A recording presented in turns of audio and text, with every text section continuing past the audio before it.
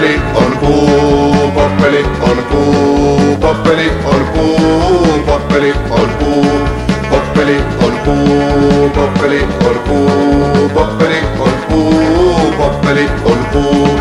Poppelissa asui vähän omituinen kurre, jolla oli rasitteena Ylä-Savon murre.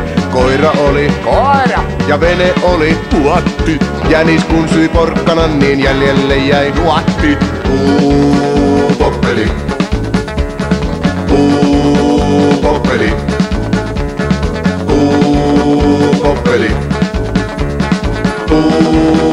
Puu, poppeli. Poppelissa majaili myös variksia kaksi. Toinen alkoi kurren vuoksi käydä katkeraksi.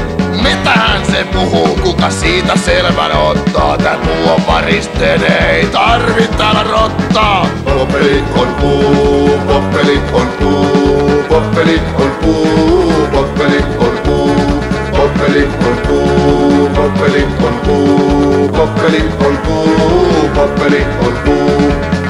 Variksista oli sympaattinen varis, siltä rotu epäluulot sekunnissa karis.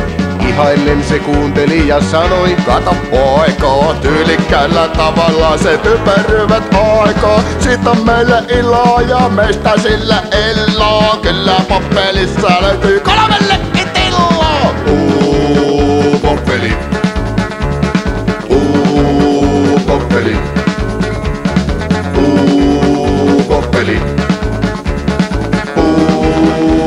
Poppeli.